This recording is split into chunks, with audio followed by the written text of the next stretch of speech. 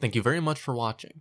Leave a like if you enjoyed my video and subscribe to my channel with notifications turned on to see more of my content. Leave a comment with your thoughts on this video or topics for the future, and if you're interested, I've also made plenty of other videos, so go check those out too. This has been Historical Hindsight, and I'll be seeing you soon.